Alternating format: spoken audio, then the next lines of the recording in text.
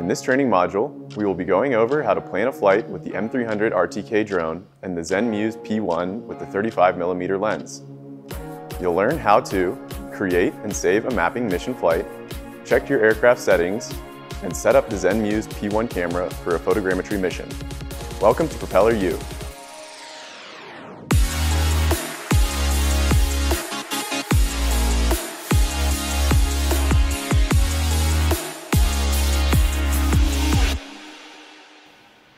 In this video, we'll review how to manually plan a mission. If you would like to learn how to plan a mission using a KML file, check out the Propeller U video titled How to Plan a Mission Using a KML File.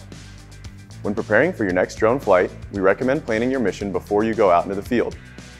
You will need to be logged into the remote controller for mission planning, so it's always best practice to log in prior to going on site where there may not be Wi-Fi access. It's also recommended to set up your M300 and P1 camera and power on the drone for mission planning to adjust your camera and aircraft settings. Let's jump in. Once you're logged in on your controller, tap the DJI Pilot button. This brings you to the main screen for the DJI Pilot application. With your M300 RTK drone powered on, you can verify your controller is connected to the aircraft by checking the connection status on the DJI Pilot main screen. Once we have verified the M300 is connected to the controller, we can create a new mission flight. From the main screen, tap Mission Flight. This takes you to your Mission Flight library, which contains any previously saved missions.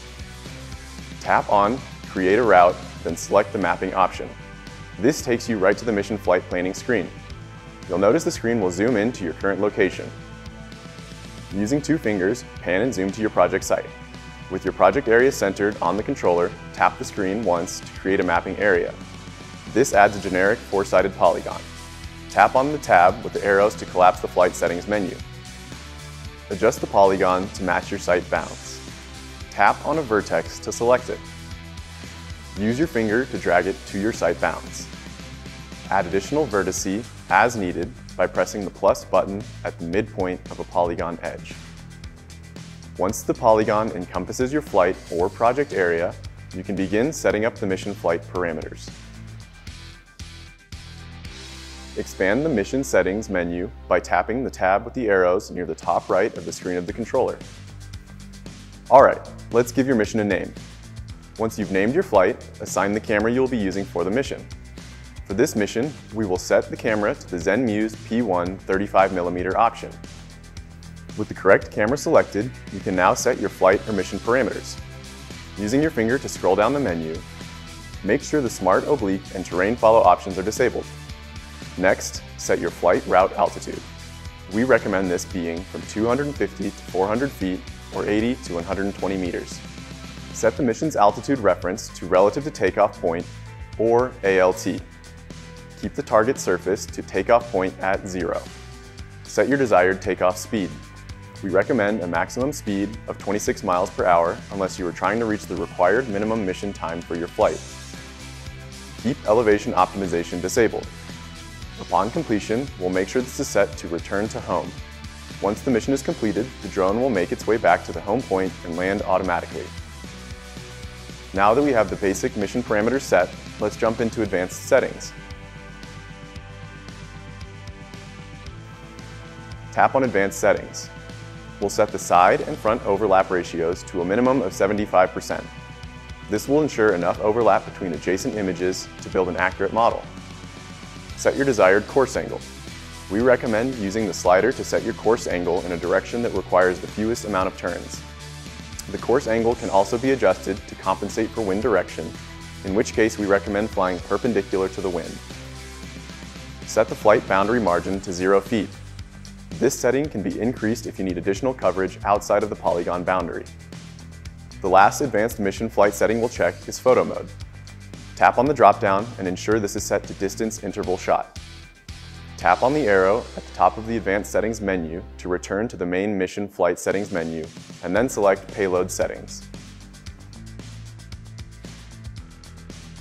Under Payload Settings, set the Focus Mode option to First Waypoint Autofocus. You'll also want to make sure dewarping is turned off. Tap on the arrows at the top of the Payload Settings menu to return to the main Mission Flight Settings menu. You have successfully created a mission. Now it's time to save it. Tap on the floppy disk icon above the play button to save your mission. Once your mission is saved, the floppy disk icon will change to a pencil icon and the first-person view and P1 camera screens will appear in the bottom corners of the screen. From this point, the M300 RTK drone is ready for takeoff, but before takeoff, we'll get the camera and aircraft settings dialed in. Tap on the ZenMuse P1 screen in the bottom corner of the mission flight planning screen. This takes you to the P1 camera interface. On the top right side of the screen, check to make sure the camera is in photo mode. Tap on the camera icon and set the camera to shutter priority mode by selecting S. Set the shutter speed based on the conditions of the day. For a bright sunny day, set this to 1000. In lower light conditions, the shutter speed can be set to 800. For completely overcast skies, set the shutter speed to 640. In either case of lowering the shutter speed, the aircraft speed should be lowered as well to prevent motion blur in the images. Make sure the exposure value, or EV, is set to zero. Now that the camera mode is set, we'll look at the photo mode and settings. Tap on the parameter settings. Keep the image ratio at 3 over 2. Set the image format to JPEG. Set the white balance to the condition of the day. From the photo setting menu, tap the three dots and ensure the mechanical shutter is turned on and dewarping is turned off. Close out the photo settings menu by tapping anywhere on the screen. Make sure AFS or autofocus is showing near the top right corner of the screen. Now that we have set up our mission flight and have our pre-flight camera settings set, we can check and verify the recommended aircraft settings. From within the P1 camera or mission flight screen, tap the three dots in the top right corner of the screen. This will take you to the aircraft settings menu. The first aircraft setting we'll check are the flight controller settings. Scroll down to RC signal lost and check that it is set to return to home. Scroll down further on the menu and make sure coordinated turn is turned on. This will increase the aerodynamic efficiency of your aircraft and help maximize your battery flight time. Next, tap on the obstacle avoidance icon. Starting with the horizontal obstacle sensing settings, ensure the vision system is turned on for each direction. Tap on the Advanced tab. Make sure the Enable Vision Positioning and Precision Landing options are turned on. We'll leave the remote controller settings and image transmission settings on their default settings. Tap on the battery icon for the aircraft battery settings. Scroll down and turn on Smart Return to Home. Make sure the critical battery warning and low battery warning are set to 10% and 20% respectively. We'll leave the gimbal settings at their default settings. Finally, tap on the RTK icon to access the RTK settings. From this menu, we will make sure the RTK positioning and maintain positioning accuracy mode are turned off.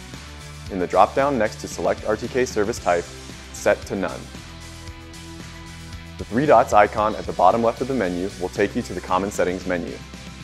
We recommend making sure map switch is set to mapbox and checking your unit settings are set to your preferred format. We recommend setting units to imperial area units to acre, and GPS format to decimal degrees. To exit the aircraft and common settings menu, tap the white X in the top right corner. This will take you back to the P1 camera or mission flight planning screen. With your mission flight and camera settings saved, you are ready to fly. If you are on site and ready for takeoff, simply press the play button to the left of the mission flight planning screen. This will take you to the pre-flight check. Double check your settings and make sure RTK is disabled. Press the next button at the bottom of the pre-flight check screen. This will take you to the final check flight route screen where you can again confirm RTK status is disabled. Press the Upload Flight Mission button.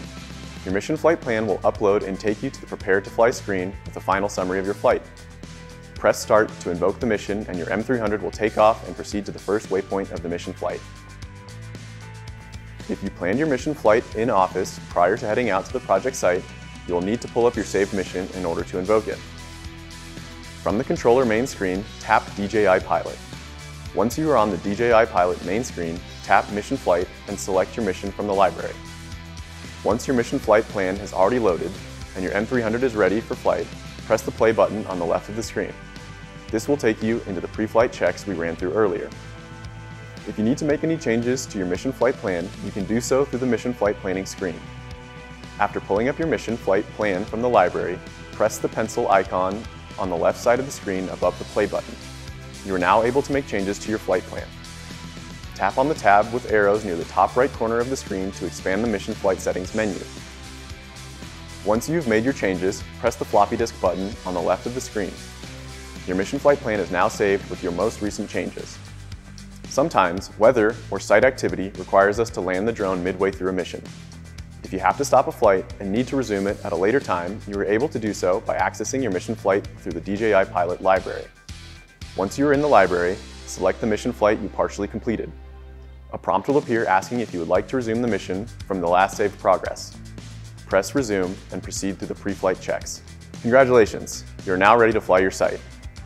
In this training module, we went over how to create and save a mapping mission flight, adjust the camera and aircraft settings, and how to resume and edit your mission. Thanks for watching.